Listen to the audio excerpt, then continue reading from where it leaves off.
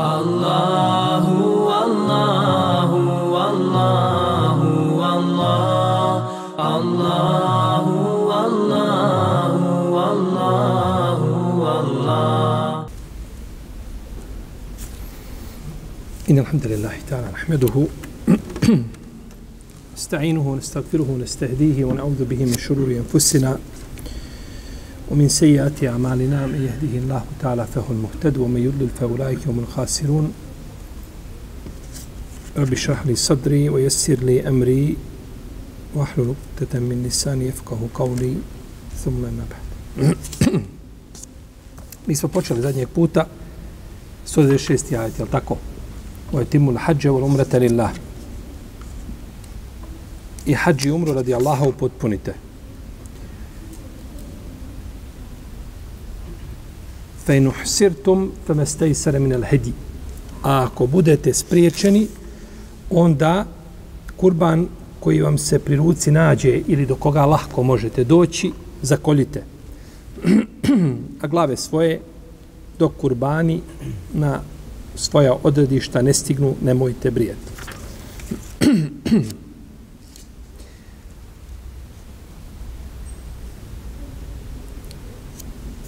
Ovdje smo došli do pitanja mikata.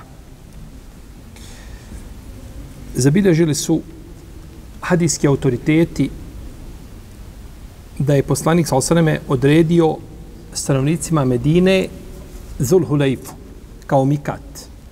To su prostorni mikati. Prostorni mikati su znači mjesta na kojima se ulazi u obrede. Za razliku od vremenskih mikata, koji predstavljaju vremena u kojima je dozvoljeno ući obrede. Jer imamo određena vremena u kojima se ne može ući obrede hađa. Znači, moraju biti to mjeseci hađa, ševal, zil qijade, zil hijđe, i moraju biti prostorni mikati nakon kojih ne treba znači ulaziti u obrede.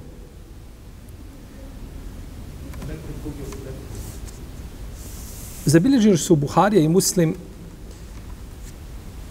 znači da je poslanik sa osrme odredio mikate ljudima koji dolaze iz različitih strana. Pa je odredio za stanovnike Medine Zulhulejfu, I ona je udaljena oko 410 km od Mekke. I to je najdelji mikat ujedno. Najudaljeniji mikat od Mekke. Za hađije koji dolaze iz pravca Šama odredio je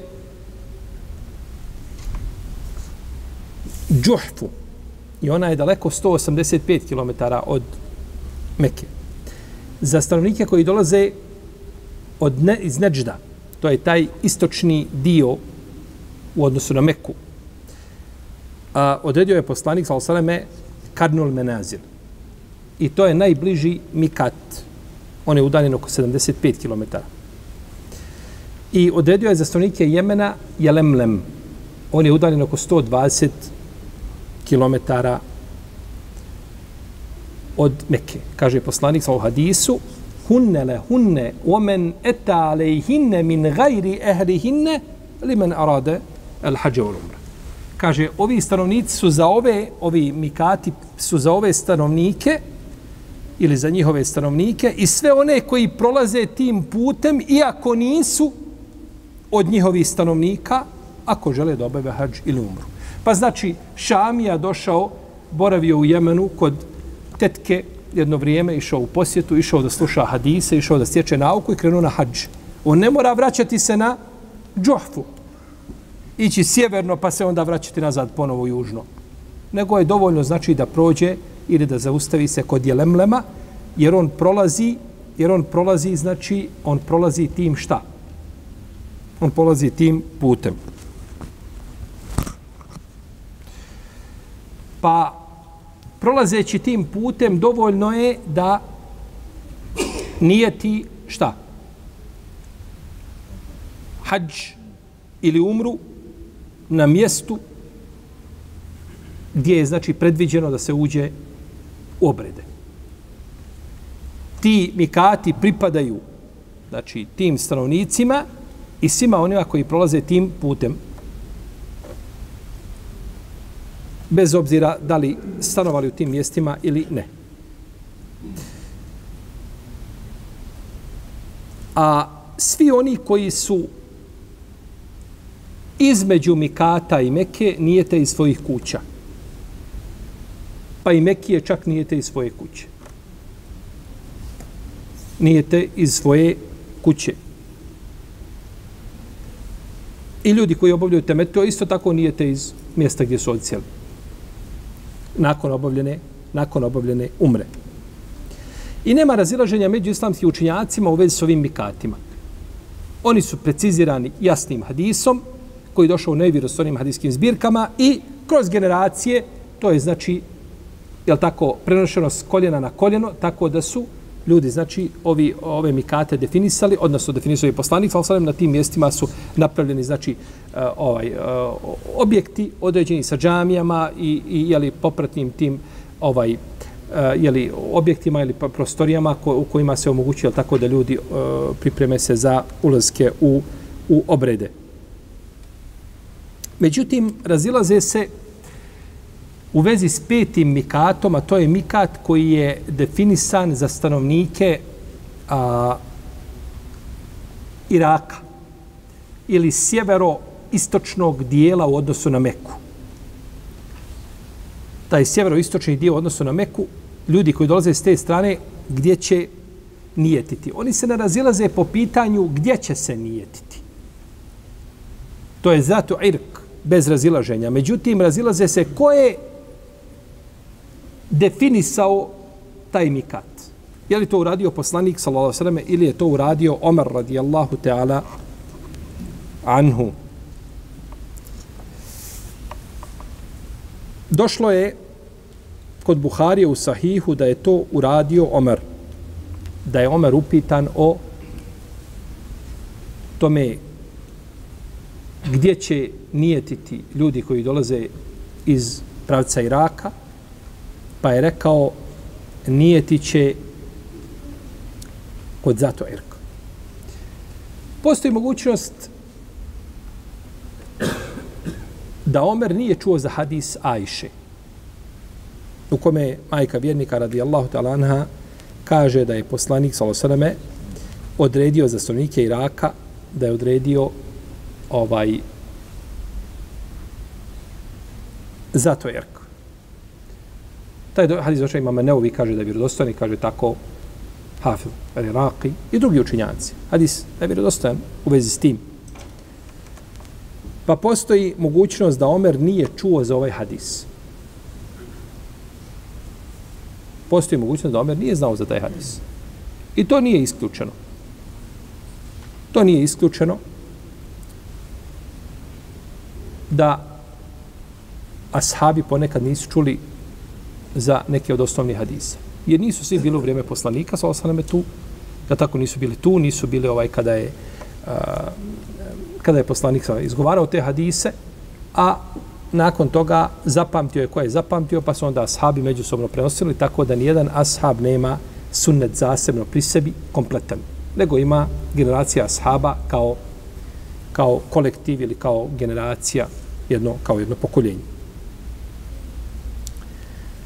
A nije ni čudno da je Omer pogodio, jer Omer radijallahu ta'ala je u dosta slučajeva je objava došla, bar se tako prenosi, neki su potvrđeni, a brojni ti slučajevi nisu potvrđeni. Imam Sujuti spomenuto u svojem dijelu Hulefa u Rašidin. E, e, to je dijelo prevedeno na naš jezik, je li tako? Imama Sujuti, je li ili nije? Ne sjećate se. Ja koliko znam da je prevedeno. A možda griješim. Možda to neko provjeri za naredni put. Dijelo pravedni vladari. Od imama Sujutije. Ja imam osjećaj da sam ga negdje vidio prevedeno, uglavnom možda griješim, ali eto, ako nam neko može to provjeriti da li je prevedeno to dijelo, uglavnom on spominje tu, e, koliko sjećam, možda 15 ako ne i više od toga slučajeva gdje je objava, gdje je Omer gdje je objava potvrdila riječ Omerove. Pa je Omer kazao ono što je poslanik, sa osvijem šta ranije već, ono što je ranije rekao. Tako da je u svakom slučaju, znači, ostaje da je zato Irk, da je to, znači, nikad za stanovnike Iraka. Kažu neki, ne, nije to, nije to mogao, to je Omer rekao nakon što je Irak oslobođen. Naravno, kad se kaže Irak, nemojte odmah uzmati ove granice geografske današnje, u redu. Ili kažemo Egipat, kad neko spominje, pa kaže otišao u Egipat, ne treba odmah kazati to je Egipat, jel tako, koji je u današnjim granicama. Nazivi se razlikuju. Bahrein, došlo u hadisima. Tako. Nije to odma granični, jel tako, taj dio kako je došao, nego to je u to vrijeme, znači, i bila na, na, bilo naziv, naziv jedne oblasti. Može jedan dio biti da je obuhvaćen današnjim granicama, ne mora značiti, u svakom slučaju ne treba odmah to posmatrati, znači, sodno današnjem, jel tako, geografskom izgledu. A, kažu, tada Irak opće nije bio šta? Darul Islam. Je li bio ili nije bio? U vrijeme poslanika sa Nije bio definitivno. Nije bio Darul Islam. Pa zbog čega bi poslanik određivao šta? Mikat nekome ko nije Darul, darul tako, u Darul Islam. I ne pripada, dolazi niko odatle. Međutim, ovo je problematično. Zato što je bez razilaženja među historičarima ni, ni Šam nije bio u to vrijeme Darul Islam. Nego je sve to oslobođeno vrijeme Omara. A poslanik je sa odredio za, za stanovnike Šama kao mikat džuhfu bez razilaženja među učenjacima. Tako da taj prigovor ne stoji. Ispravno je da to poslanik sa odredio i da je to čak i da nije hadis tako potvrđen, taj hadis kao hadis za sto došlo riječi Omerove, nakon toga učenjaci se složili, znači da je to šta? Mikat. A na čemu se olema složi, to je dovoljno. Na čemu se složi ovaj učenjaci, slože se u jednoj generaciji, nakon toga nema više razilaženja, ovaj, odnosno nije prije toga bilo razilaženje, to je jak argument i ne smije se kazati suprotno tome. Za razliku, ako ima razilaženje, pa se onda slože, pa onda opet razilaženje postaje konsensusa, to je pitanje, je tako, oko koga se razišli učenjaci usultika. Uglavnom, ko dođe na zato Irk, on je po jednoglasnom mišljenju koga spominje imam Šafija, Ibn Abdelbar, imam Neo, Irak i drugi, ušao u obrede na mjestu predviđeno. Tako da je to dovoljno. Imamo, znači, pet mikata, po jednoglasnom mišljenju islamskih učinjaka, na njima se ulazi u obrede.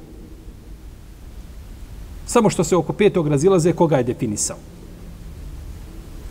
Ali ispravno da je to uradio poslanik sallallahu Ima je hadisi kod muslima, ali ravija sumnja da kaže da pretpostavlja da, da je to poslanik, sal sam rekao. Pa ravija sumnja. Međutim, hadis Ajše, koji je kod Ebu Davuda i kod drugi, on potvrđuje da je to sto riječ poslanika, sal sam Tako da je to, da to bija, znači, snagu i ovaj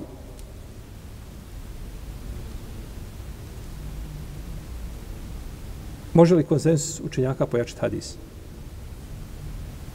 Imamo hadis koji je onako... Evo ovaj hadis konkretno. Da li je to rekao poslanik, sal ili nije?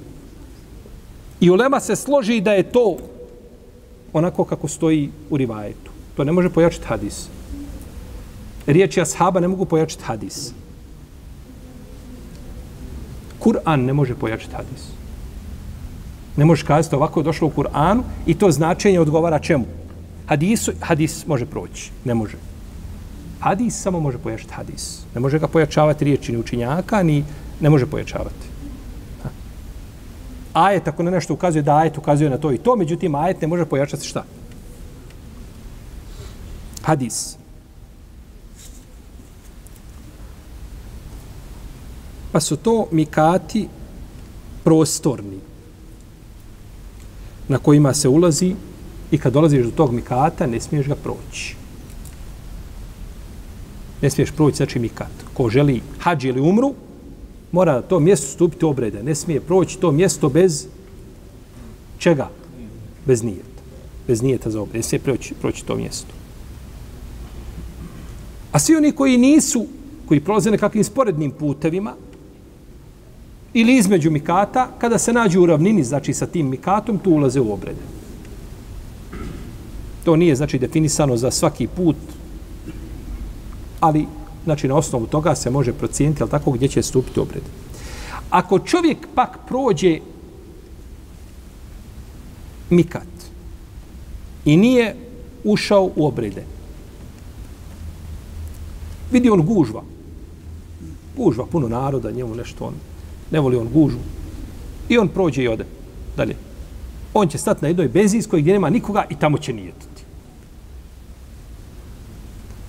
nijetiti. Duže se vrati nazad. Mora se vrati nazad na mikat.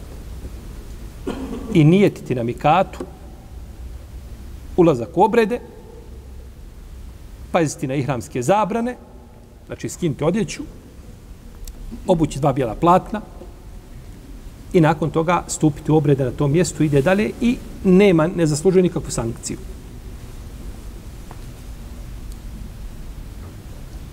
Ne zaslužuje sankciju. Kako ne zaslužuje sankciju? On prešao u odjeći svojoj svakodnevnoj, krojenoj odjeći, šivenoj u odnosu u obliku tijela, prošao mikat, a nije skinuo odjeće. Kako ne zaslužuje sankciju?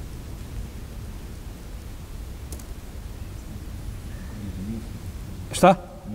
Nije, no, nije zanijetio. On nije zanijetio. Jer je ihram braćo ulazak u, nije, u obrede. I god se spominje u knjigama sunnetu i u fiku ihram, ahreme, juhrimu, juhrimu, min keza vo keza. Znajte da je to cilja se nijet. Ali su danas ljudi nazvali ihram, ihram nazvali dva bijela plata. I onda se tako razumijevaju tekstovi uh, iz sunneta i riječi učenjaka i napravi se haos. To nikad niko nije nazvao bijelo platno i hram.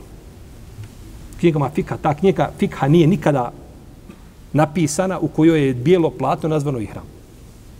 Ihram je ulazak u obrede, nije srcem da uđeš u obrede. To je.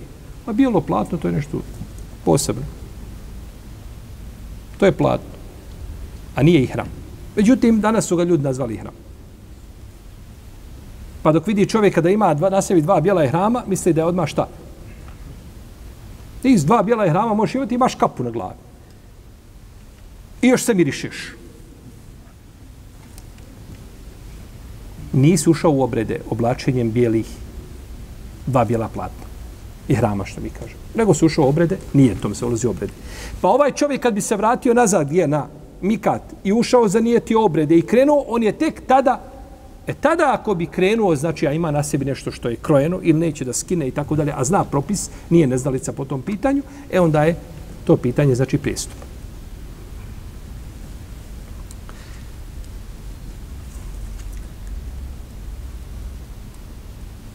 Dobro. Ako čovjek nije ti prije mikata, želi onda zanijeti već negdje u svojoj državi, odakle kreće, sa aerodromog, dakle polijeće, polijeće prema, ne znam, Džedi iz, iz Istambula, iz Amana, ne znam, iz Kaira, nije bitno. Hoće on odmah da nije ti tu u Kairu. Ja ću u Kairu, nije tu ulazak obrede, jeste do Džuhfe, imam još sat vremena leta, neću ja to čekati, ja ću nije to ovdje. Nje, njegov ulazak obrede je ispravan. Ulazak obrede je ispravan, ali uradio suprotno sunetu poslanika, sa osaneme, I ovaj neki islamski učinjaci navode konsensus pravnika u vezi s tim. To jeste, međutim, Ibn Hajar je prenio svome dijelu Fethul Bari od Isaka ibn Rahawaja i prenio od Ibn Hazma i prenio od, od Davuda ibn Alija da su smatrali to zabranjenim. Ulazak prije ovaj, u, u obrede prije čega? Da je zabranjenim. Međutim, nije spomenuo da li smatraju, pored te zabrane, da mu je ulazak u obrede neispravan. Može nešto biti zabranjeno, ali je šta? Ispravno. Čovjek klanja ima zlatni prsten na ruci. Njegov namaz je ispravan. Ali to što je na ruci prsten, to je šta? Zabranjeno, tako? Pa ovi, ova mjesta koja su definisana, ona su definisana shodno, znači sunnetu poslanika, sallam, i ne treba prije njih ulaziti u u obrede.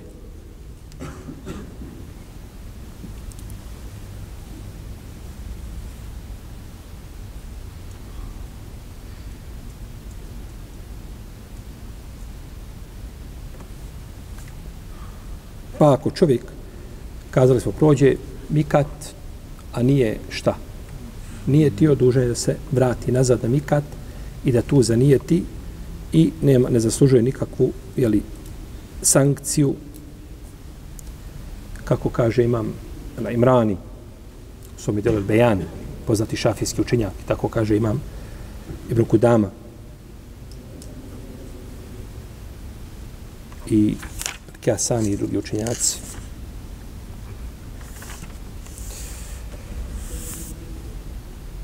wa etimul hađe wal umrata lillah i hađi umru radi Allaha upotpuniti.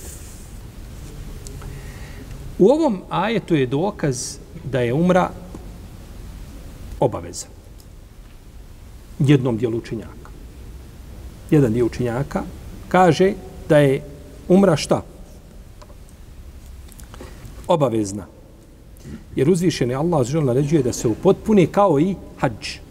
Pa kaže, to je, kažu, to je dokaz obaveze. A, to je dokaz obaveze.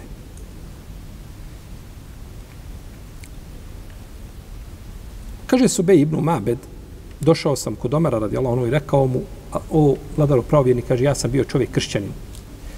Kaže, pa sam primio islam i kaže, znam, kaže, da uzvišeni Allah propisao hađi umru. Da je hađi umru učinio obaveznim. Meni. I ja sam, kaže, zanijetio hađi umru. Pa mu kaže Omar, kaže, upućen si ka sunnetu poslanika Muhameda sallallahu alaihi wa. Ovaj rivajet je zabilježio imam Al-Bejhe koji su vam Al-Hilafijat i zabilježio ga imam Hozejme i drugi i ovaj rivajet je ispravan. A ovaj rivajet je ispravan. On je rekao Omeru, Omere, Allah mi je propisao hađi umru. Pa Omer nije šta rekao? Propisao ti je hađ, a nije ti propisao umru. Nego je, znači, prešutao njegove riječi. Što znači da, sodno tome, da bi i umra trebala biti šta? obavezna. I to je stav Ali ibn Taliba i ibn Omara ibn Abbasa. I zabilježi imam da rekutni od Nafije ibn Omara da je govorio nije Allah stvorio ni jedno stvorenje da ga nije obavezao hađom i umrom. Ako može obaviti hađ i umru. A ko želi da učini više od toga, jeli, to je dobrovoljno. Međutim, ovaj hadis je daif. Ne hadis, nego rivajet od Ibn Omara. Rivajet od Ibn Omara, da je to Ibn Omar kazao je neispravan. Ima isto tako rivajet od Ibn Abbasa da je rekao umra je vađib, kao što je i hađ vađib. Umra je vađib kao što je hađ. I taj hadis, taj rivajet je daif, kako kaže vam Zahebi, od Ibn Abbas, kao riječ koga Ibn Abbas, radijallahu ta'ala, anhu. A, kazali su još od tabina Ata i Tawusi, Mujahid i Hasan, Ibn Sirin, Šabi, Sejid ibn Džubeir, Mesruk i drugi da je, i to je stavi mama Šafi, mama Ahmeda, da je umra vađa. Da je umra šta? Obavezna. Da je umra obavezna.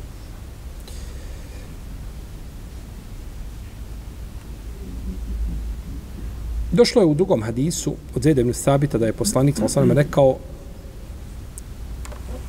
hađi i umra su dva farza, dvije obaveze. Dvije stroge obaveze ne smeta sa kojim god da počneš ili sa kojom god da počneš u te dvije obaveze.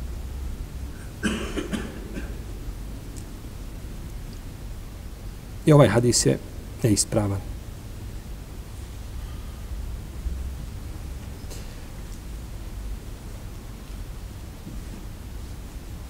Dok kažu Malik i hanefijski učenjaci, Neha i drugi, da je umra sunnet.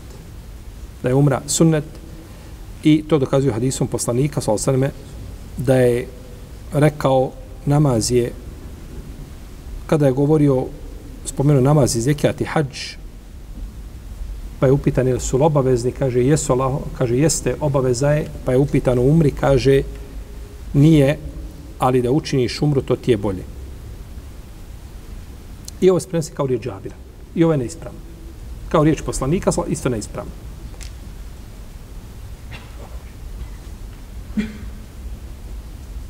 To je bolje. Ima hadis. U hadisu Džibrila, kada je poslanik sa govorio o imanu, ihsanu, islamu, ima rivajet u kome se kaže da obaviš da obaviš ente huđa o ta'temir. Da obaviš hađi umru. Islamske gradi na Peteru, je li tako? Ovdje se spominje od tih praktičnih dijelova da obaviš šta? Hađi umru. Međutim, taj rivajet prenosi Matar ibn Tahman, a El Warraq, koji je bio kao prenosioc problematičan.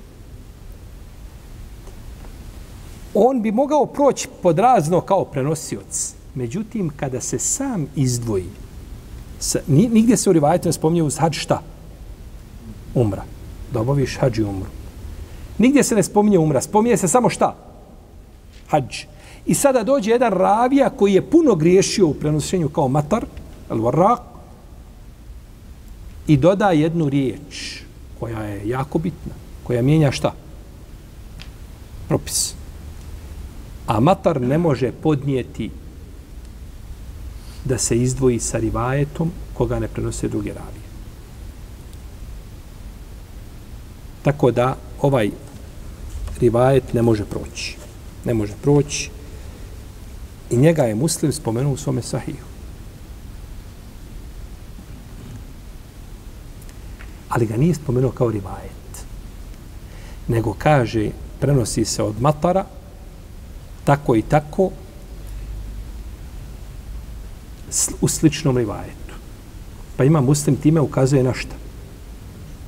Da je došla jedna greškica u tom rivajetu. Ima muslim ne kaže da je hadis daif. Kad imamo muslima u sahiju, ima predanje ovaj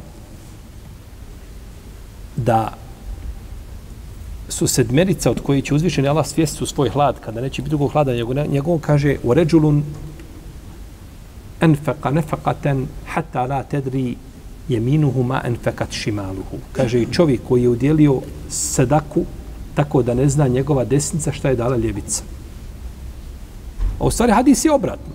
Hadis je da ne zna ljevica šta je dala desnica. Imam to muslim spomnio u sahiju, ne kaže da je hadis, hadis nije daif, nego je došlo znači do jedne greške u tom rivajetu. Tako i ovdje. Kaže ima rivajet Matara i ukazuje na njega, to je, to je od uh, preciznih prigovora imama muslima tom rivajetu. Pa ti ima muslim spomene sahih rivajete i onda ti ukaže nešto i šaretom šta? Šta je daif, je tako? Ili što nije potvrđeno, što on odgovara ispravnim rivajetima.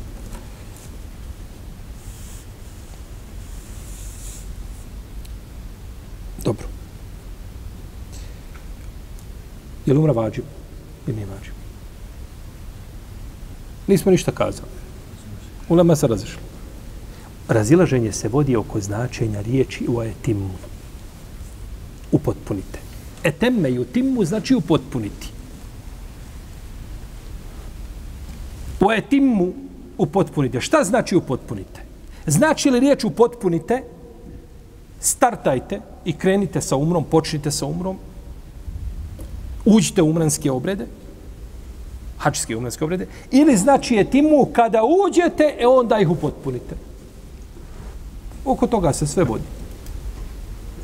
Oko toga je, znači, razilaženje. Oko tog značenja.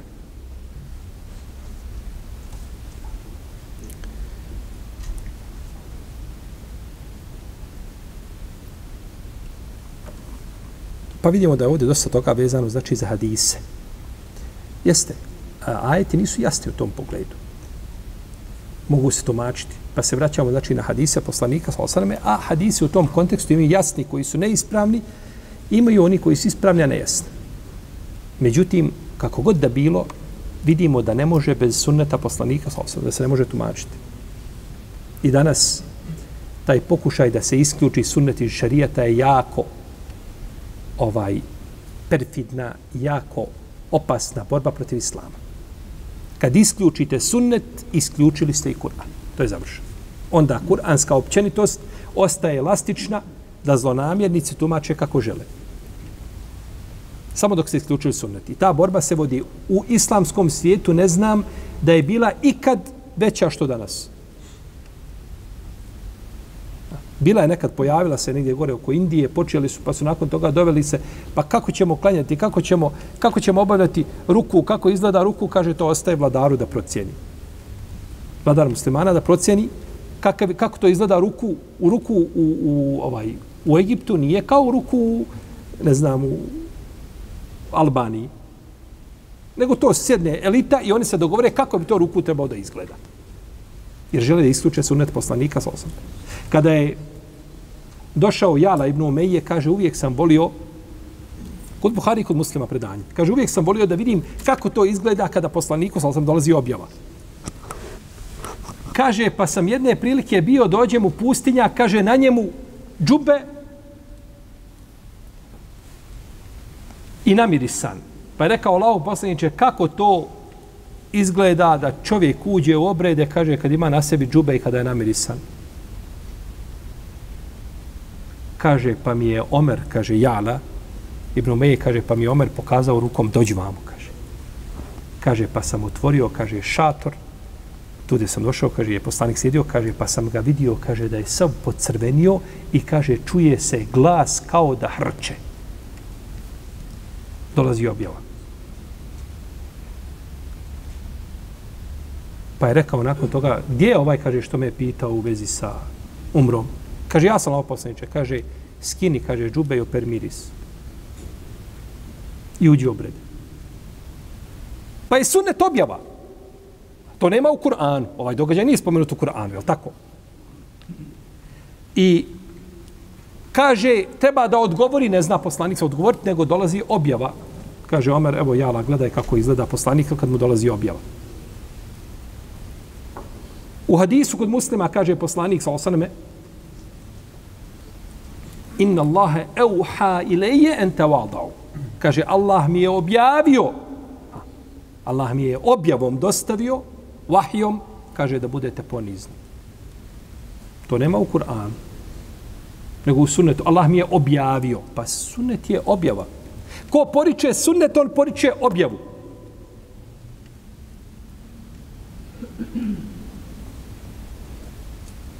I isključimo sunnet pod izgovorom da ne znamo kako je to prenešeno. Pa ti koji to tako govoriš, sigurno ne znaš kako je prenešeno. Nikad ništa o sunnetu čitao nisi. Da si šta pročitao o sunnetu, stidio bi se samog sebe da pogledaš u ogledalo, rekao bi ono najgore što se može kazati, koga to vidim.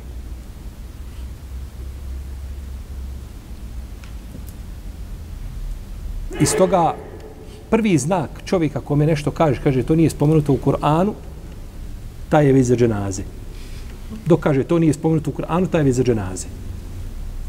Šta ako nije spomenuto u Kur'anu? Šta, je, šta je problem ako nije spomenuto u Kur'anu? Kur'anu nije dosta toga spomenuto. A mnogo toga je spomenuto općenito.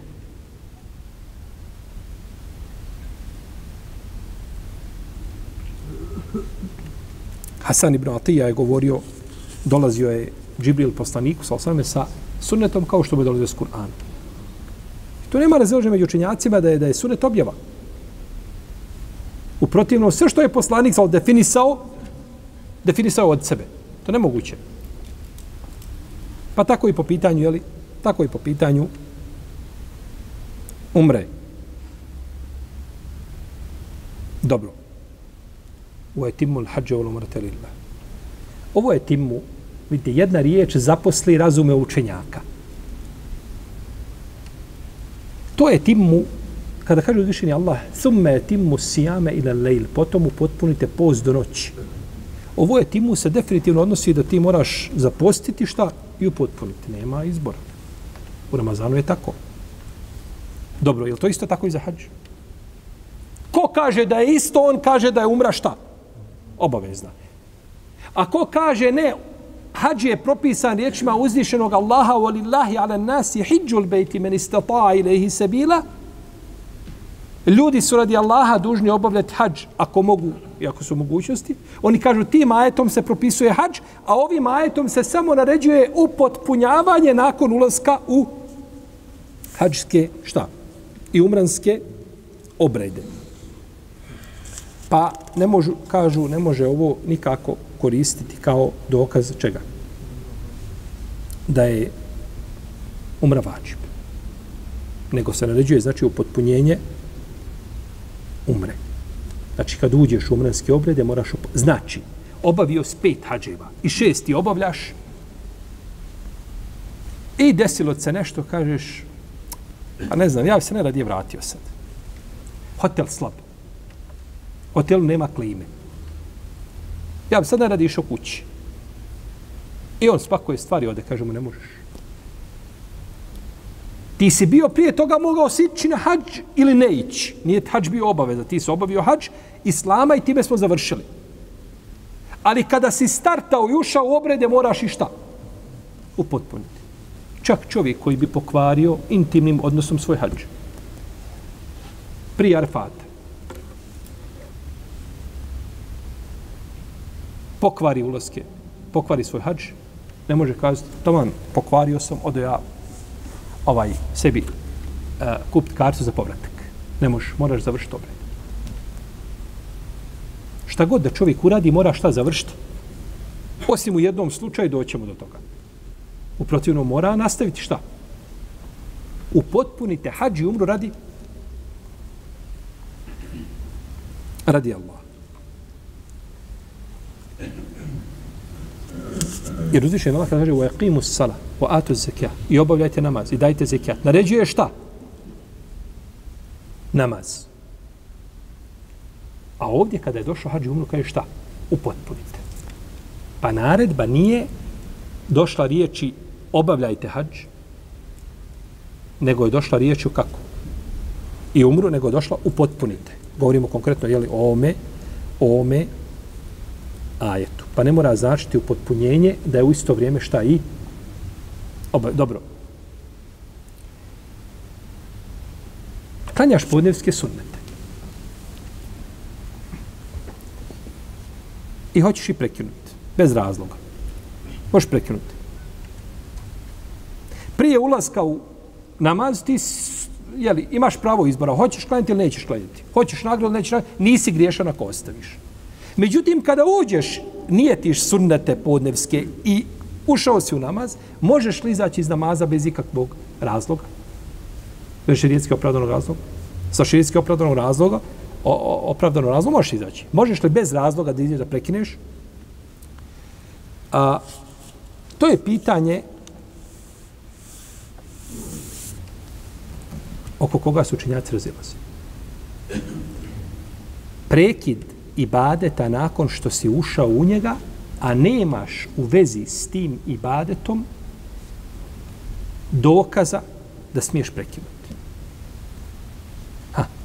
Ušao si u dobrovoljni ibadet i nemaš dokaza da ga smiješ prekinuti. Da li si ti da li ti imaš pravo izbora po pitanju prekidanja tog ibadeta? Po, kada imaš dokaz, kao recimo pitanje posta, kaže poslanik, sa čovjek koji posti, ili osoba koja posti dobrovni post, ona odlučuje, ona je, kaže Emir, samog sebe odlučuje, hoće li nastaviti ili će prekinuti. Imaš pravo prekinuti, imaš pravo izbora. Za to ima šta? Dokaz. Međutim, ima, ušao si u dobrovni ibadet i nemaš dokaza o dozvoli prekidanja. Imaš li ga pravo prekinuti ili ga nemaš pravo prekinuti? E, to je razilaženje među islamskim učenjacima. Hanefije i Malikije kažu nema pravo prekinuti. Dok Šafije i Hanbelije kažu ima. Dobro, šta su vam dokaz? Hanefije i Šafije, Hanbelije, Han, Hanefije i Malikije kažu šta? Ne može prekinuti. Šafije i Hanbelije kažu može. Šta mi je dokaz? Dokaz je oba dvijema skupinama isti. Jedan dokaz. Koji je dokaz? Hadis u kome se navodi da je poznati hadis u kome se navodi da je došao pustinjak poslaniku sa osaname i kaže Allah posljeđe šta mi je Allah propisao od ibadeta? Propisao je namaz, propisao je post. Je li još nešto mimo toga? Ništa više ošim ako hoćeš dobrovoljno. I kaže na kraju neću ni dodati ni oduzeti. Ako je istinu rekao, uće u džennet. Dobro. Kako je dokaz jednima i drugima isti? Pitanje je kako shvatiti hadis. Kaže, la illa ente tawa. Ne osim ako učiniš dobrovoljno. Dobro. Kako dokazuju jedni, kako drugi? Ako mi pročitamo hadis i kažemo la, ne, nisi dužan. Tačka. Osim ako želiš dobrovoljno, ha, pa odvojimo ovo osim, taj izuzetak, odvojimo od čega? Od negacije. Pravimo novu rečenicu. Ne. Osim ako, u tom slučaju, to bi bio dokaz šafijama i hambelijama da imaš pravo. Ne, osim ako ti to dobrovoljno radiš, što je tvoje. Ali ako pročitamo pa spojimo u riječi pa kažemo ne, zarez, osim ako, ne, nisi dužan, osim ako ti nešto dobrovoljno uradiš, onda si ga dužan upotporiti kao i ovo, odmah se mijenja hukvi propis. Samo znači tačka i zarez, ništa drugo tačka i zarez te napravi havariju. Tako, šta ja, kako sada ja shvatim i razumijem taj hadis i kako da mu priđem. Pa koji su ga razumjeli s tačkom, kažu, može prekinuti. Koji sa zarazom, kažu, ne, mogu, ne može prekinuti. A dokaz im je, znači, jedan, te, ono odnosno ovaj izuzetak, ne osim ako dobrovoljno, je li on povezan s prethodnim riječima ili on odvojen ili je odvojen.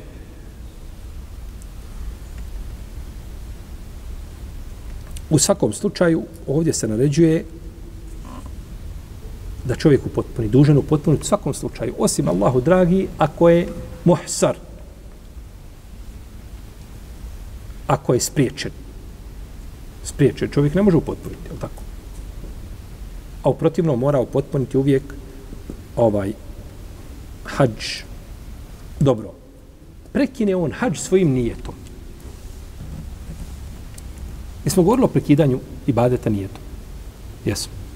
Kazali smo da se može ibadet, kako možeš stupiti? Stupio si u namaz. Klanjaš podne namaz. I nije tom srcem prekidaš namaz. Da, pres, znači, nije tiš izlazak iz namaza. Moraš ponoviti namaz bez razilaženja među nama. Taj namaz više nije valid. Na hađu čovjek nije ti nijetom, to isto mora završiti hađ. I mi smo nekad davno, ako se sjećate možda prije jedno dvije godine, govorili o jednom pitanju ovdje. Spominjali ga. Neki će se možda sjetiti. A to je da što god je ibadet duži, da je povezanost nijeta sa ibadetom blijeđa. A što je god ibadet kraći, da je povezanost nijeta s ibadetom jača. U namazu, dok si nijetom prekinuo, gotovo izišao si. namaz šta? Kratak. Na hađu toga nema. Hađ je dug. I odmah je ta povezano šta? Blijedi. A između toga je post. Post je koliko? Od zore do zalaska sunca. Da li post ima hukm namaza ili ima hukm hađa. Čemu je bliži? Tu je razilaženje među lebom. Oni koji iskazali da je bliži namazu, kažu izlazi se. Oni koji kažu bližu da je hađu, kažu da se ne izlazi. Pa je taj utjecaj, znači nije ta u ovom slučaju slab kada je riječ o kada je riječ o hađu i ne može s hađem tako izaći. Nego mora upotpuniti, kako god da bilo upotpuni, Pa prekinuo je, jel prekinuo, je jel pokvario svoj hađ sa spolnim odnosom? Definitivno. Ali mora nastaviti šta? Mora nastaviti hađ. Naravno, hađ nije valid. Je red? I onaj što je ošao kod Gatara, 40 dana mu se ne prima namaz, ali mora klanjati. On zna već sa žamijskih vrata da mu je namaz, da mu nije primljen. Prije što je zanijeti, on zna da, da taj namaz nije, ali mora šta? Tako isto onaj koji pije opojna pića, ali tako. Taman ga neko savjetuje da to bile, bilo par čašica radi zdravlja. A u, u šaru ne može, u majici zla ne može biti zdravlja nikako. Može samo bolest biti, samo se može čovjek razboljeti. Tamo da to svi lekari tvrdili na zemlji, kako to koristi, to ne može koristiti nikako. Jer Allah nije učinio korist onome čemu je učinio, jeli, što je zabranio ljudima. Jer sve što je korisno ljudima, to je dozvolio. Je li tako? Je li Allah dozvolio sve u čemu je korist ljudima? Allah je dozvolio, braćo, sve u čemu je sušta i puka korist ljudima. Jes elune kanil hamri ul mejsir, kul fihima ismun kebir o menafiju lin nas. Pitaju te o vinu i o kocki, o alkoholu te pitaju o opojnim pićima, pićima i o kocki. Šta kaže? U njima je veliki grije i neka korist za ljude. U onome ko prodaje korist. Svaki dan, svaki dan posprat digne. A ovi što razume svoje truju i prave se neredi u porodici i u društvu i na ulici, pa je grijeh i šteta puno veći od... Pa je Allah dozvolio ono u čemu je... Nađite mi jednu stvar da je u islamu zabranjena, a u njoj je puka korist, nema šteta. Izazov dunjaluku čovječanstvu. Nema toga ništa.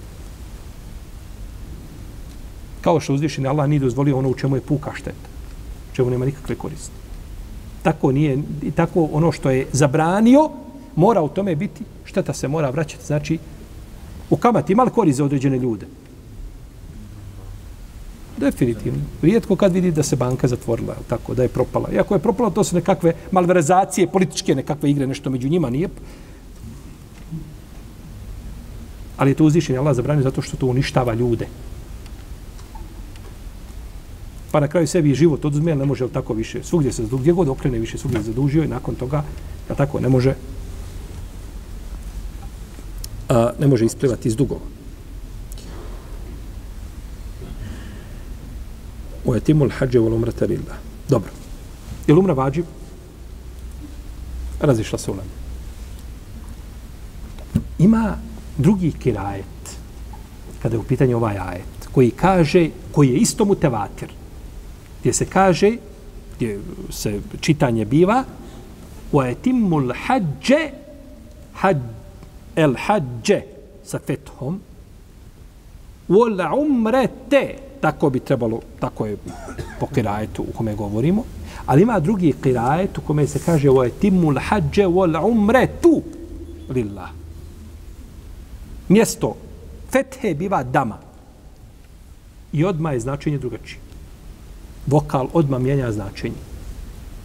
I to za 180 stepeni. Jedan vokal. Upotpunite hađ a umra je Allahu. Pa bi li onda ovdje umra bila sunnet ili, ili fard? Sunnet. I za one koji razumijevaju. Pa bi ovo, ovaj kirajet bi išao u prilog učenjacima koji kažu da je umra šta? A to su Malikije i Hanefije. To su Malikije i Hanefije koji kažu da je umra sunnet. Neki to čak pripisuje većini da je većina kazala da je to sunnet, da umra sunnet. Wa yatimmu al-hajj wal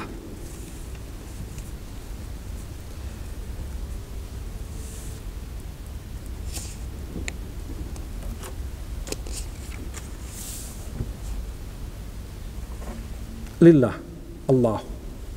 Pripada Allah. Dobro.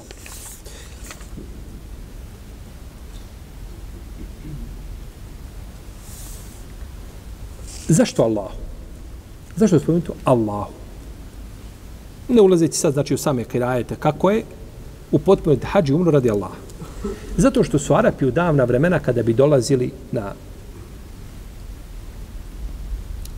umru, hađ, dolazili bi s ciljem hvalisanja, ciljem da se vide, da se okupe, da se dogovore na kakvi dogovori, trgovina. Ne bi to bilo radi Allaha Pa je uzvišeni Allah ovdje rekao, upotpunite to radi, radi Allaha. Da to bude samo znači radi Allaha. Ako bude nešto usputno, nekakva druga korist nije problematično, ne smeta se i sastati s nekim i vidjeti, ali da bude prevashodno nije da čovjek to obavi radi uzvišenog Allaha azzavodža. Jer kada bi čovjek došao, nema razilaženja među učenjacima, kada bi čovjek došao na obredna mjesta i boravio na refatu i bio na muzdelifi, na mini bio bez nijeta, nije radi Allaha to bilo, da, da mu taj hađi ne vrijedi. Iako je bio na tim mjestima, on je boravio tu, on se našao na tom mjestu, zatekao se, možda je radio što i drugi rade, dovio je možda više od drugi na refatu. Međutim, dova na refatu nije eh, rukni ispravnosti, niti je čak vađib. Kada bi čovjek našao na refatu, cijeli dan došao, prespavao na refatu, eh, bio bi mu ispravan njegov, njegov boravak na refatu. Jer kad se kaže stojanje na refatu, često mi kažemo stojanje, kao što u arapskom ukuf, pa mi to prevedemo stojanje, ne misli se stojanje da moraš stojati. Misli se boravak, da se nađeš na tom mjestu. To je dovoljno. Pa čak i kad prespavao čovjek. On, je, on, se, on se računa da je boravio šta? Na, na arefatu. Pa nijet mora, znači, biti a, kad bi samo telbi učio, ne bi imao nijeta, ne bi bio hađi ispravni. Samo uči telbi. Lebejke Allahume, lebejke, uči se od ljudi, uče i on njemu se nešto dopalo značenje, telbi je razumio i on uči se ljudima. Ne, moraš imati nijet prije toga. Jer nijet je u srcu i nijetom se starta u obrede, nijetom se ulazi u obrede, a nije znači sa telbijom. Telbija je vid zikra koji je došao u toj formi. Telbio čovjek kada bi nikako učio njegov hađ bi umre bili ispravni, ali ne može osloniti samo na telbiju, nego mora, znači prije to, e zato to je lillah, Allah. To je taj ihlas koji mora biti srca da obavlja obrede radi koga? Radi stvoritelja Tebarake o Teala, Bog riječi uzvišenog Allaha, innemel e'malu bin nijet. Djela su prema nijetu djela su prema nijetu. A nijet je znači vezan za čovjekovo, za čovjekovo srce, tako da izgovor riječi lebejk Allahume umreten, lebejk Allahume hađen, to nije nijet. To je opet telbija koja je došla šta u toj formi. Lebejke. To je telbija. Lebejke hađen. To je sunne da se tako kaže. Ali nije to. Neki kažu, na hađu, je, na hađu se, samo se nijet na hađu izgovara na glas. Nije tako. Allah te poživio, nije ni na hađu. Nije se u svim ibadetima izgovora, to lebejke Allahume hađan, kad ne bi nikako kazao, tvoj hađu je ispravan ako si ga nijetio srcem. Samo se ostavio jedan sunnet koga nisi trebao ostavljati. A to nije nijet. To nije nijet. Nego je to telbija. Vrsta telbije, vid telbije, vid zikra, nazove ga kako hoćeš. Ali nije znači nijet. Nijet biva isključivo u srcu, u ibadetima, Svi mi o tome smo govorili više puta. Znači, lillah, ovo lillah ukazuje da je nijet šta? Da je nijet obavezan za ibadet.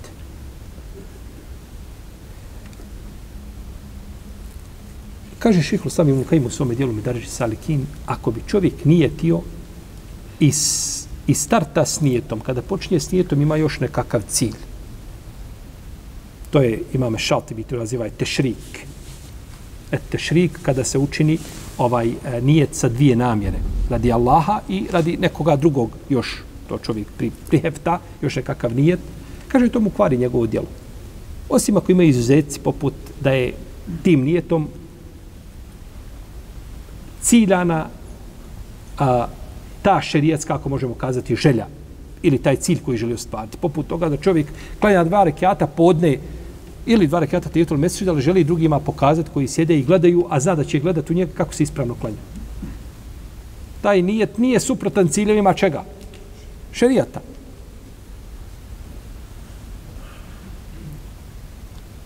Međutim, ako bi u startu imao, znači, takav nijet, takav nijet ukvari djelo.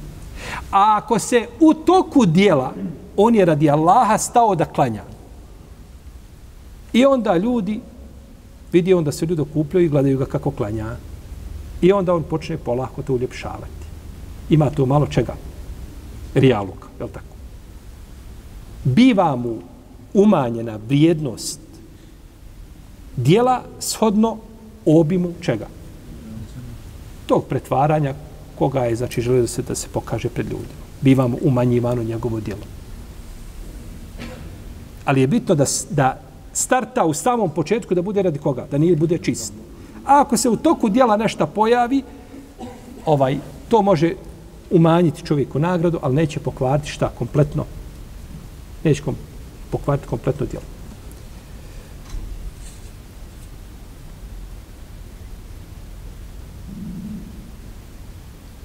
Dobro. Ovdje je u etimul hađe vol umrete lillah. Ova riječ lillah hađi umru radi Allaha. Ukazuje li, ide li u prilog učinjacima koji kažu da je umra obavezna ili oni koji kažu da je sunnet? Kome ide u prilog? Obavez. Koji kažu da je obavez. Njima. Znači, to je svaka skupina pokušava iskoristiti svaki dokaz da dokaže šta? Svoje mišljenje. Tako. Da dokaže svoje mišljenje.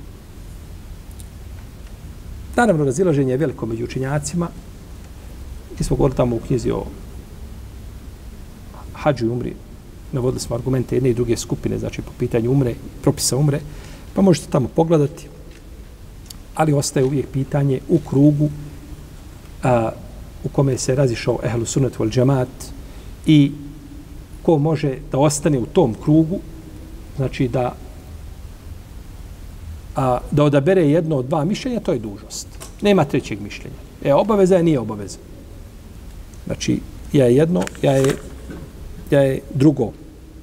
Iako imamo mišljenje, imamo mišljenje treće, ali nije treće, ono se veže za drugo. To je mišljenje mama Malika, koji kaže, umra je sunnet, kaže, nikome ne dajem, kaže, olakšice da je ostavi. I to zgodno ste po pitanju kurbana neki učenjaci. Kažu, kurban je sunnet, jer džumuru leme kažu da je kurban sunnet, jel u redu. I ovaj, ma, kod Abdurazaka ima predaja da su Ebu Bekri i Omar ponekad ostavljali klanje kurbana da ljudi ne bi pomislili da je to, da je to vađib. Vjerodostojan, ha, vjerodostojno predanje koje ukazuje, vallahu alem, da kurban nije vađib. Govorimo o kurbanu, o našem, ne o hediju hađskom, to je nešto drugo. Ali kažu, sunnet kome ne dajemo, ne dajemo nikome, olakši se da to šta? Šta znači to? To je, kad neki učinjaci kažu, to je a, a, sunnet koji liči vađibu. To su stvari kada se prevelo, to su najveći oblici čega? Sunneta. Znači, ako kažemo da je umra sunnet, to je najveći oblik sunneta koji postoji. I ne treba se nikako, dok možeš ispuniti, sa tim se ne treba šta? Poigravati. I zato čovjek koji ide na hađ, to čini naše hađije i to je pohvalno lijepo, da obali odmah hađi umru. I ako tad obavi hađi umru, on je završio svoj. Ideš već, ne znaš hoće li biti prilike. Mi, mi smo podaleko, jel tako, svake godine su ti ta putovanja sve skuplja, sve zahtjevnija. Onda čovjek bi trebao znači da obavi hađi umru zajedno. Obavlja temetu i obavi hađ i umru ili kiran kako mu volja, iako naš hađi obavlja temetu, a to je jednostavnije za ljude. I nakon toga je skinuo obavezu i hađa i i umre. Iako ima domara radijalom da je zabranjivao temeto ljudima. Jer kad ljudi obavljaju temeto, šta se dešava? Nema umre umeđu vremenu. Svi obavljate temeto, hađi umru obavili i onda do narednog hađa ostaje kjaba, ne obilazi niku kjabu. Pa nije Omer, a, što kažu neke šije, kada Omer zabranio temetua, on mislio na temetu ovaj za muta brak. On su to tako protumačili, razumijeli temetua, to isto je riječ. Omer ne govori o tome, Omer govori o obavljanju zajedničkog hađa i umre. On se kaže, Omer zabranio temetua. Temetua je zabranio, muta brak je zabranio poslanik sa osreme. Nije Omar. I Omer to može zabraniti bilo ko drugi mimo Omera. To je zabranio poslanik sa osreme. Ovo je timul hađe wal umrate lillah fa in uhsirtum famastaysar min al-hadi a ako budete spriječeni onda kurban do koga vam je jednostavno doći, zakolite. Pa ćemo inša Allah u narodnom predavanju nastaviti dalje govoriti o ovom ajetu, odnosno ovom dijelu ajeta koga spomenuli. Allahu te alamu salli Allahuma na Muhammed, ala alihi wa sahabi i. Allahu, Allahu, Allahu, Allahu.